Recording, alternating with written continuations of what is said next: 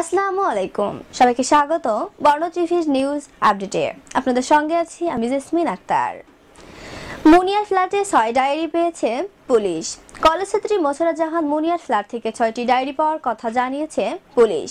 DMP Gulshan বিভাগের উপকমিশনার সুদীপ কুমার চক্রবর্তী মঙ্গলবার সন্ধ্যা এক গণমাধ্যমকে জানান, ওই তরুণীর মরদেহ উদ্ধারের পর সেখান থেকে ছয়টি ডায়েরি পাওয়া যায়।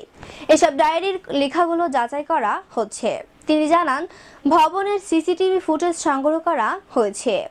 উদ্ধার হওয়া ডায়েরির সঙ্গে সেগুলো যাচাই চলছে। তিনি আরও জানান, আপাতত হ্যাঙ্গিং মনে হলেও ময়নাতদন্তের প্রতিবেদন থেকে জানা যাবে কীভাবে তার মৃত্যু হয়েছে।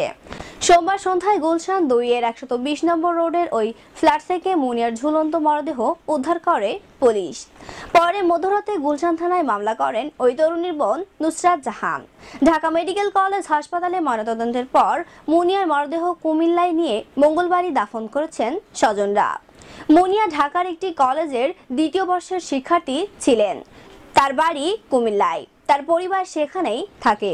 তিনি ঢাকায় গুলশানে ওই ফ্ল্যাটে একাই থাকতেন।